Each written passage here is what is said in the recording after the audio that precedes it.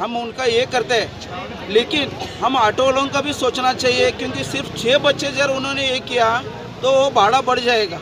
और वो हमको अफोर्ड नहीं होगा, क्योंकि बेलगाम जैसे सिटी में छः से दस हज़ार रुपये पेमेंट वाले हम लोग हैं सब।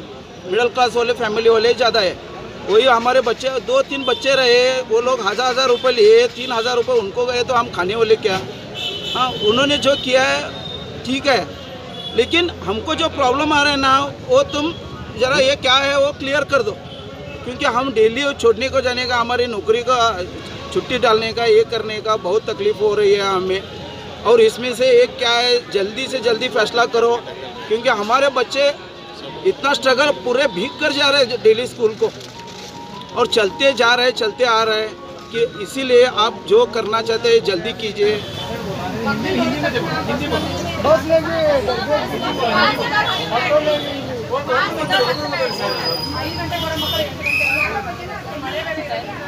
प्रशासनाने याला काहीतरी ह्याच्यामध्ये तोडगा काढून आठ किंवा आठ तरी केलं तरी चांगलं आहे. जेणेकरून त्यांच्यासाठीही चांगलं आहे आणि पालकांसाठीही चांगलं आहे. आणि लवकरात लवकर याचं मार्ग निघावा आणि प्रशासनाने लवकरात लवकर योग्य तो निर्णय घेऊन म्हणजे याच्यातून मार्ग काढावा अशी इच्छा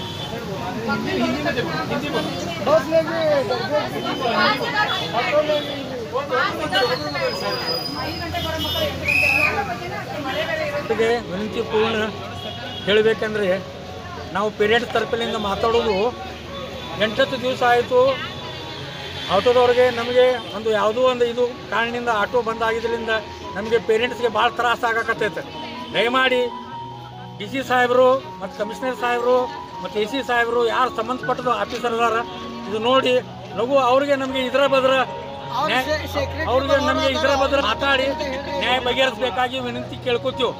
ಹತ್ತತ್ತು ದಿವಸ ಆಯಿತು ಇನ್ನೂ ತನಕ ನಮಗೆ ಏನು